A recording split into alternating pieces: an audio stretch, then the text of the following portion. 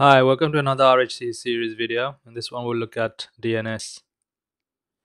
Okay, let's have a look at the objectives first.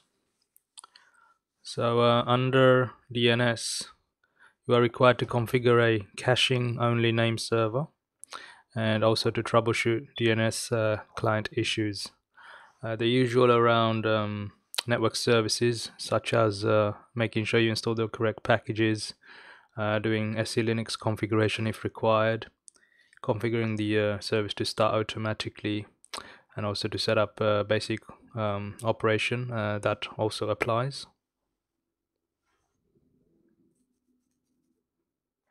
So we'll do the uh, following. Um, we'll, on server one, we'll configure um, a caching uh, name server.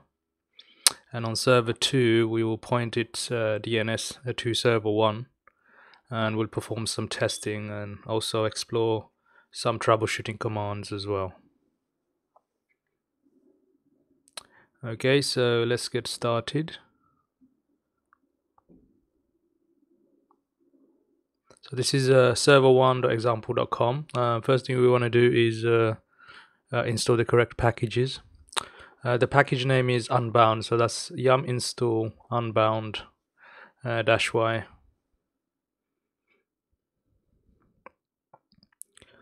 Okay, the config file for this um, uh, package is in etc unbound unbound.conf. So let's have a quick look at this file.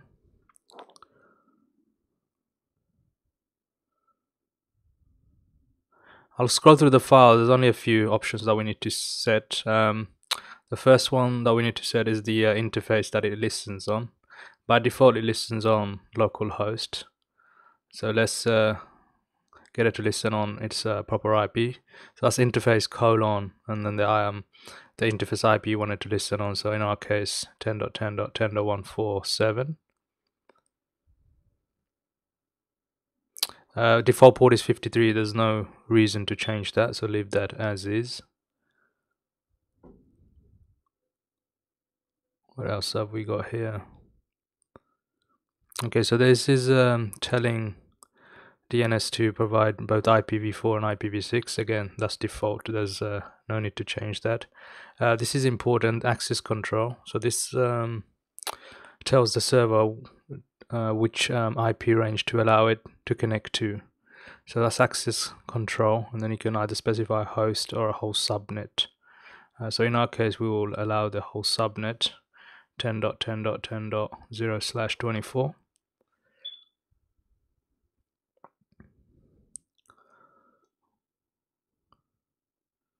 everything else uh, looks like I can leave it at default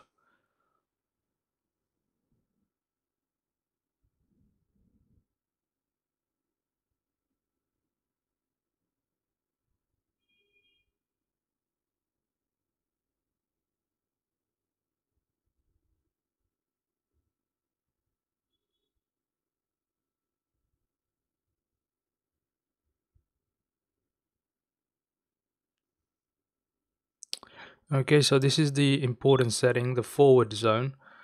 Um, so this is where you're telling Unbound which zones to forward the queries for.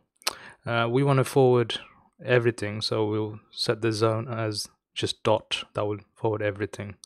So name, colon, uh, put dot inside quotes. And then we want to specify where to forward to. So we'll do uh, forward address and we'll use um, Google's DNS which is uh, 8.8.8.8 and that's pretty much it. Um, just save the settings or of this file. And let's um, set the service to um, start automatically and also start the service. So that's systemctl enable unbound and systemctl start unbound Ooh, uh, so it didn't start for some reason so let's uh, see what the issue was so the systemctl status unbound and if you do a dash l it will show you the full lines uh, so it looks like a syntax error so we probably missed a uh, quote. Let's go back into the uh, unbound file.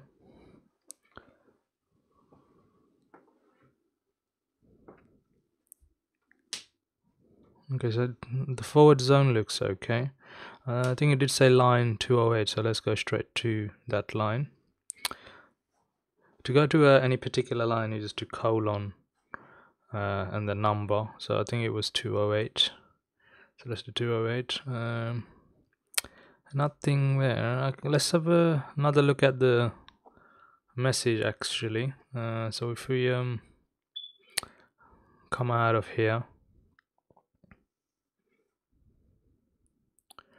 just have a look. So ah, okay i see. Uh it's uh, we i think we missed a directive so we should have put allow after our subnet. So let's go back into that again. And if we go back up to uh, our access control. Not this one. Next one. Yes so we should have uh, put allow after this so let's just add that in quickly. Okay, let's try again.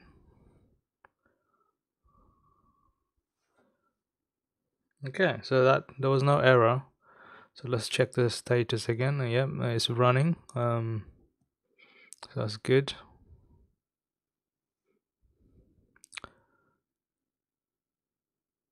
Let's um, open up the firewall to allow connectivity. So that's firewall cmd dash dash permanent. And we want to add service and the service is DNS. So service equals DNS. Just reload the uh, firewall rule. So that's just firewall cmd dash dash reload.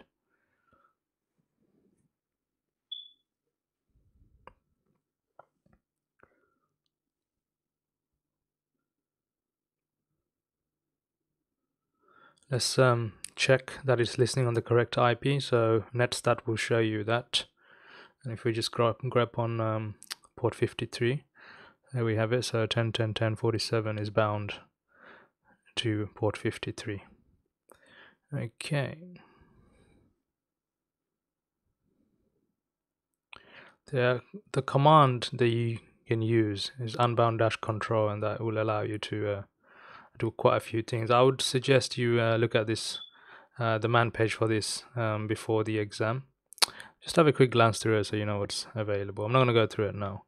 Um, one of the first things is uh, unbound control, and then you can do a status, and that will show you the status of the uh, unbound server.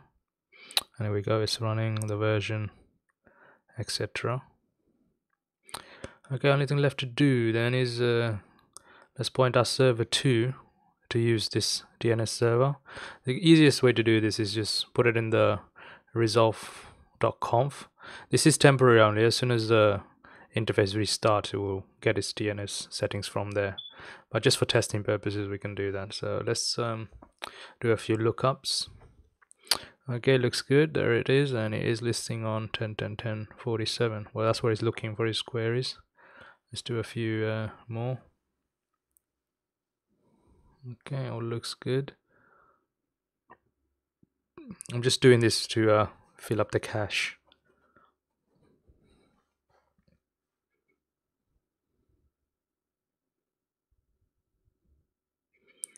Okay.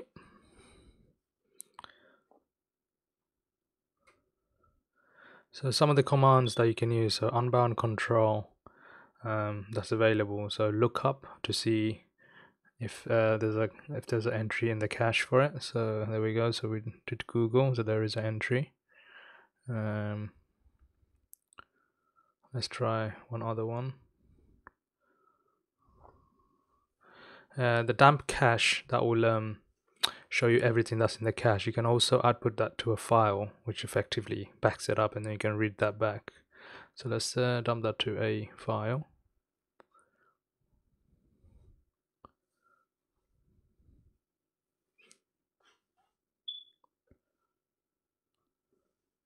The other command that's available is um, uh, flashing a particular entry from the cache or even flashing a, a, complete zone. So you can so flush underscore zone and the name of the zone, uh, name of the zone. So in our case, just dot that will uh, clear the cache now if we um, did another dump cache on this it should be empty so let's uh, give that a try